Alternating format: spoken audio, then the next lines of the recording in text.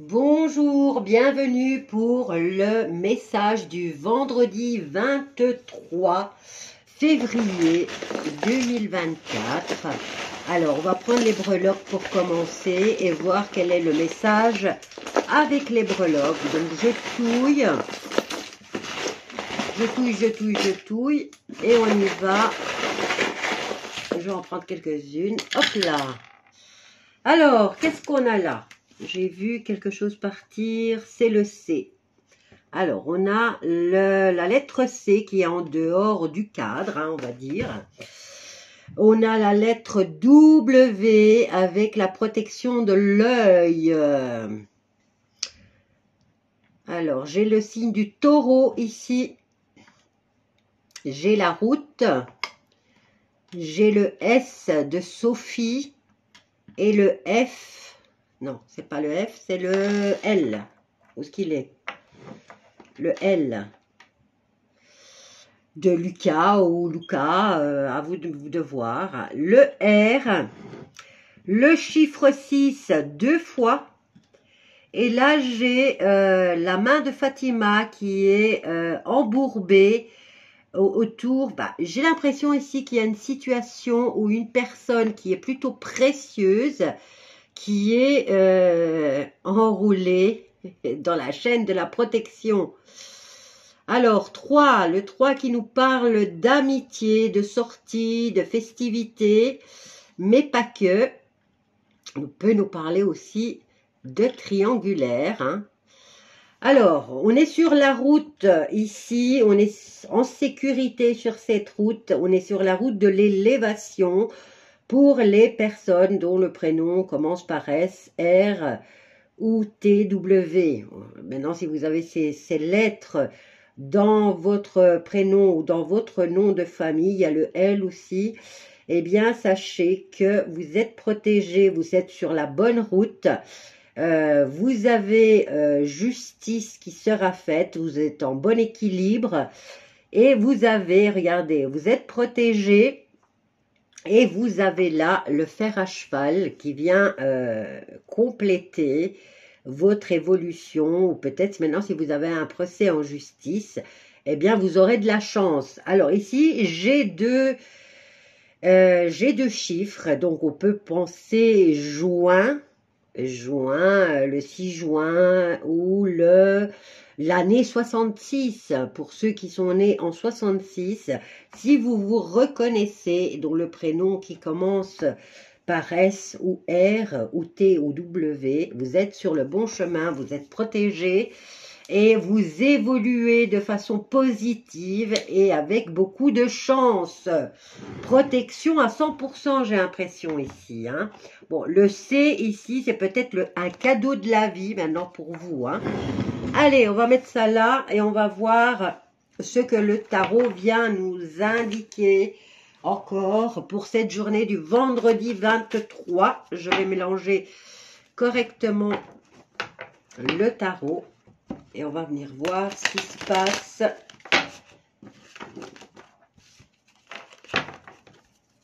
Pour cette journée du vendredi 23, j'espère que vous allez tous bien. Et regardez, on a la victoire personnelle là. Ça commence fort. Une belle satisfaction personnelle pour beaucoup. Et c'est encore le 6. Hein 6, 6, 6. C'est les satanistes qui vont avoir peur, là. Allez, le 5. Alors, ici, on est dans le manque affectif. Mais ça n'a pas l'air de vous angoisser plus que ça, puisque vous êtes dans cette idée de, eh bien, de, de victoire personnelle. Vous, peut-être, vous, vous c'est peut-être une victoire personnelle maintenant, parce que vous vous rendez compte que vous manquez à quelqu'un.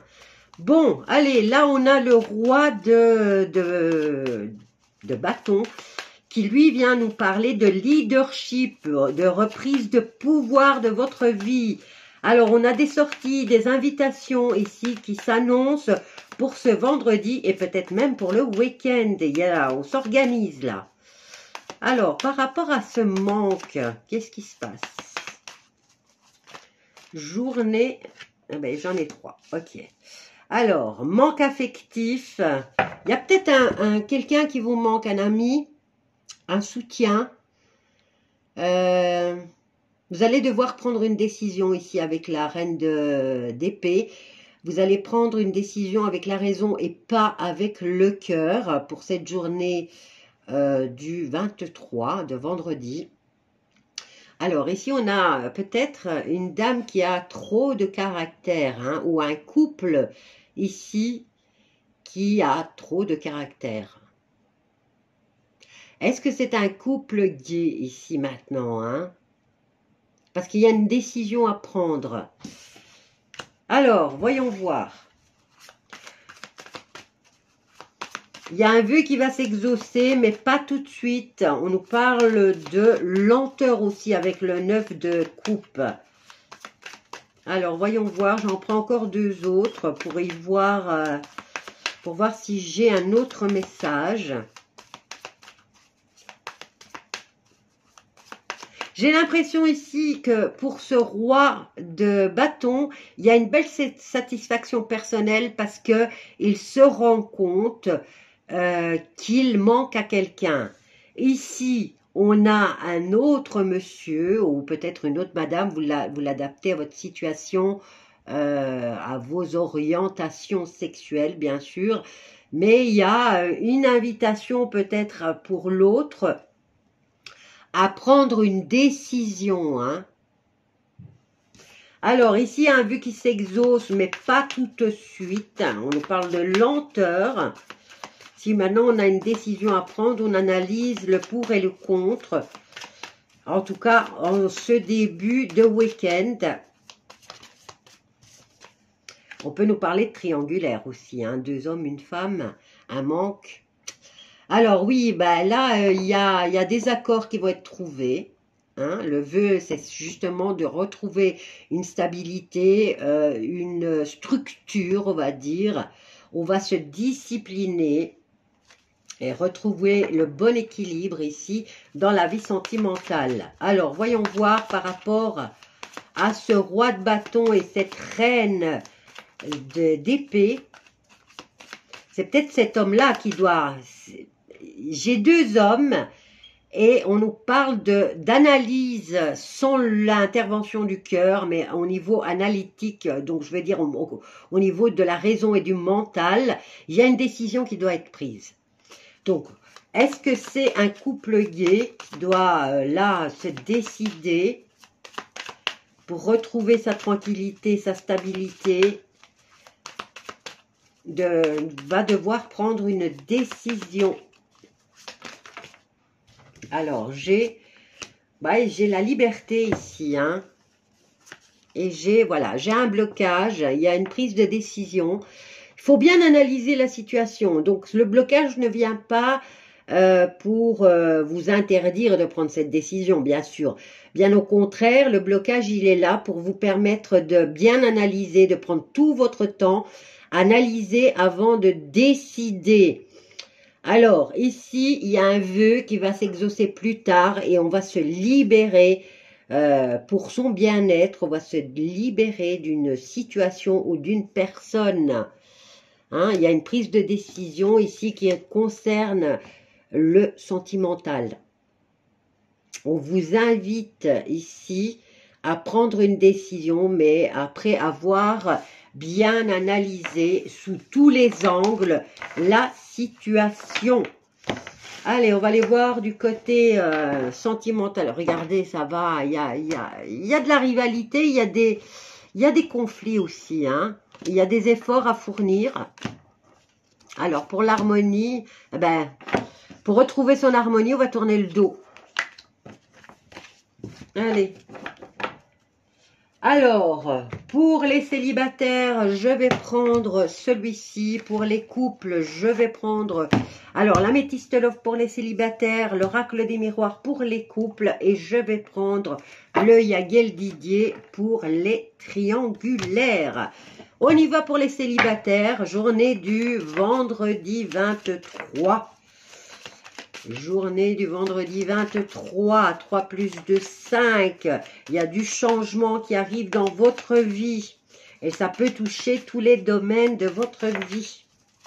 Allez, célibataire, qu'est-ce qui se passe ici pour les célibataires?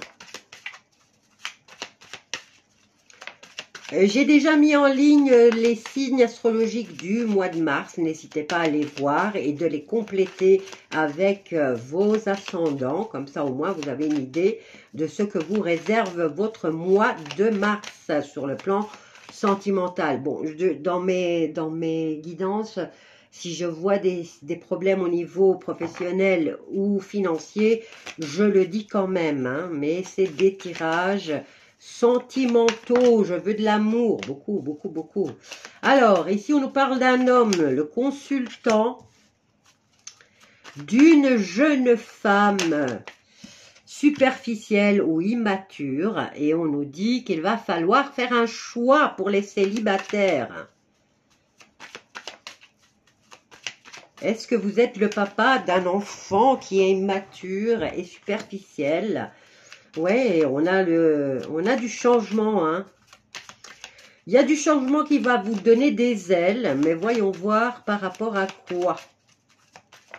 Si maintenant il y a des célibataires, des messieurs vont peut-être rencontrer une jeune femme immature euh, qui pense qu'à s'amuser, les sorties, les vêtements, eh bien euh, là, vous vous dites qu'il y a du changement qui arrive dans votre vie, hein, parce que vous, pourriez passer du statut de célibataire à couple. Et si quand même cette rencontre, elle vous donne des ailes, hein, pas que des ailes, mais elle vous apporte un, coup de, un peu d'air frais, hein, dans votre vie, les célibataires. Bon, maintenant ici, j'ai le consultant, j'ai un homme, mais euh, vous, comme je vous dis à chaque fois, vous le mettez à votre situation. Donc si vous êtes une femme, peut-être que vous allez rencontrer un jeune homme qui est peut-être immature mais qui a le même âge que vous, ou ça peut être un de vos enfants, et ça peut être quelqu'un qui est plus jeune que vous et qui est, euh, voilà,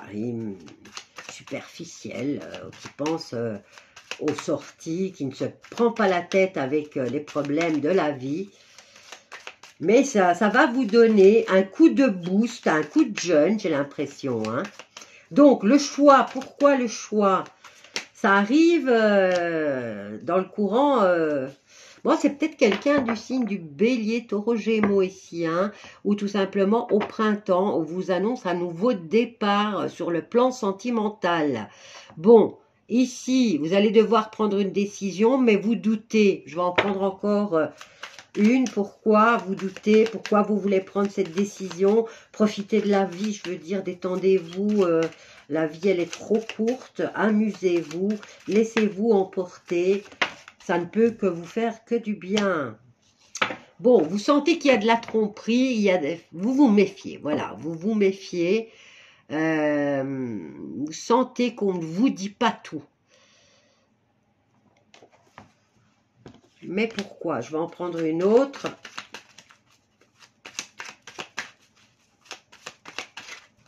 Vous sentez qu'on ne vous dit pas tout, que...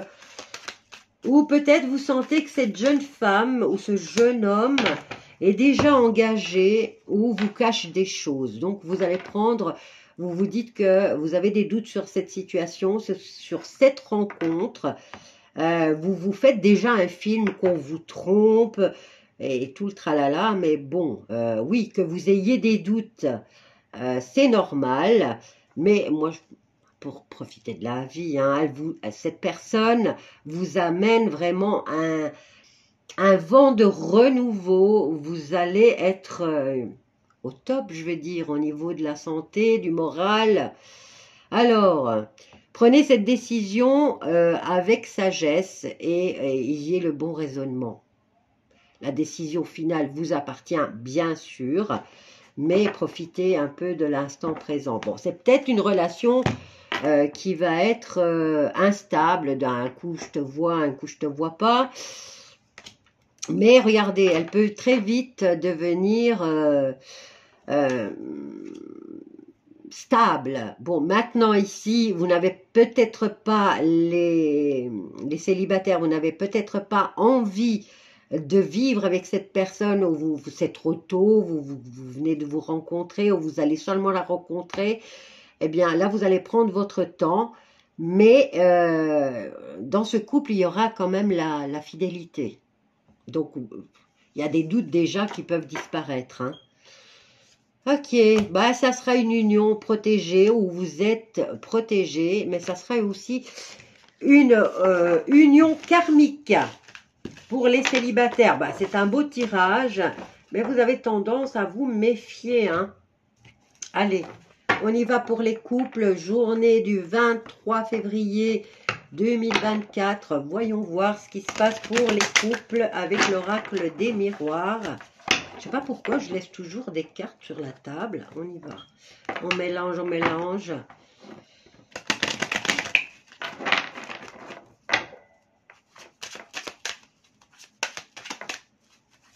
Alors, les couples. Vendredi 23. Regardez, amour, compromis. Pour les couples, il y a de l'amour et si vous avez une petite situation, enfin si vous avez une situation qui est un peu euh, qui est un peu conflictuelle, je veux dire, vous allez trouver aisément un compromis. Votre couple est protégé. Allez, encore trois. Quoique je m'arrêterai là peut-être parce que c'est trop beau hein. pour ce vendredi. Franchement, vous vous aimez. Tout est tranquille, pépère. Bon, il y a changement. Il y a du retard ici par rapport à, un changement. Bon, alors, il y a du retard. Euh, y a une situation de trahison ici. Est-ce que vous avez déjà été trahi? Et là, euh, vous avez comme l'impression que ça se reproduit, ça devient chronique au fait. Hein. vous avez l'impression que les choses euh, vont se, se renouveler. Enfin, la trahison va se renouveler. Si, moi, franchement, je vous dis, ce que je vois, c'est que vous avez, vous allez, ce couple, il est protégé si euh, maintenant les trahisons c'est vaste, hein, je tiens pas à une promesse, euh, donc tu te sens trahi, euh, je j'ai regardé quelqu'un, je me sens trahi. Donc prenez de la hauteur par rapport à cette situation de trahison. Et on vous dit que les choses vont changer. Maintenant, on peut nous parler d'un changement de saison. Mais ici, il y a de l'amour. Hein. Alors, c'est quoi qui change là? Ah, allez, enfin, vous faites des projets à long terme, vous prenez de la hauteur ou de la distance par rapport à cette petite chose que vous avez pris comme une, une trahison. Bon, je parle pas des couples où la trahison a été vraiment... Mais bon, si vous aimez la personne et que vous avez décidé de la pardonner, euh, n'en parlez plus. Voilà. Trouvez les bons compromis et arrêtez de vous prendre la tête. Bon, pour certains, ici, ils vont quand même prendre la décision de se protéger euh, et de prendre de la distance, une petite séparation de 6 à 9 mois pour essayer d'avaler cette pilule. Hein. Pour les autres, eh bien, euh, pour les autres, il y a moyen de trouver un bon compromis par rapport à la situation et euh, de commencer à nouveau à faire des projets à long terme. Bon, ben là, il y a de l'instabilité à cause de l'argent, à cause de, la problématique. Beaucoup, certains, en tout cas, vont prendre la décision. Euh, le compromis, ça va être, on s'écarte, enfin, on va se séparer un peu. On va laisser les choses se, se tasser d'elles-mêmes ou redescendre. On va se laisser le temps de se calmer c'est quand même une situation qui peut prendre de 6 à 9 mois. Hein. Donc, euh, pour les autres, vous allez réussir à trouver des compromis et euh, à redémarrer, hein, à avoir, euh, enfin, à recommencer à faire des projets à deux, je veux dire. Hein. Bon, c'est pas tous les jours que c'est rose et violette. Hein. Allez, pour les triangulaires, journée du 23, comme je vous ai dit, les 23, euh, c'est 5. Hein. 5, c'est un, vent de changement. Et ça peut être dans n'importe quel euh, domaine de votre vie. Apparemment, là, c'est dans le sentimental. Alors, il y a de la méfiance ici, hein. Mais en même temps, ça, ça vous fait du bien. Hein Un peu mazo, là. Non? Alors, il y a de la méfiance ou il y a de la ruse par rapport à quelque chose qui vous procure beaucoup de plaisir. Bon, ici, j'ai l'argent qui est renversé. Donc, s'il est tombé comme ça, c'est que vous n'en avez pas. En même temps, c'est la fin du mois. Alors, ici, on fait de la ruse pour pouvoir voir euh, l'autre qui est déjà engagé dans la relation. Hein, dans une relation. Et ça vous fait plaisir, ça vous met du peps dans la vie de, de faire preuve de ruse pour pouvoir voir votre chéri ou votre chérie. Euh, bon, ici, il n'y a pas beaucoup de sous. Donc, on ne se voit pas beaucoup non plus, mais les peu, le peu qu'on se voit, eh ben, ça vous rend heureux et ça vous fait du bien. Bon, ce couple, il est quand même heureux, hein. Mais là aussi, on vous, on vous amène du changement, hein. Bon, ben ce couple, il va quand même continuer à aller de l'avant. Vous allez voir euh, votre chéri ou votre chérie euh, pas souvent, mais le peu que vous allez le voir, vous allez être bien et heureuse ou heureux. Mais ça, les choses peuvent changer. Hein. Ben, vous allez trouver votre équilibre dans cette situation. Hein. Maintenant, ça peut être euh, l'an euh, ça peut être aussi euh, une procédure euh, judiciaire là qui s'entame. Hein. On peut continuer à aller de l'avant. Ouais, pour mettre un, terme à ce couple. Hein. Bon, il y a des décisions ici. on vous dit d'agir avec sagesse. Oui, ça. L'union pourrait se casser. Mais de votre côté, là, c'est un amour passionnel. Hein, donc, euh, c'est un coup de foudre et c'est passionnel. Je ne fais que vous dire ce que les cartes me disent. Je ne me mêle pas de ça. Je ne dirai pas ma façon de penser. Donc, c'est à vous de voir. Je vous embrasse tous bien fort et je vous dis à demain.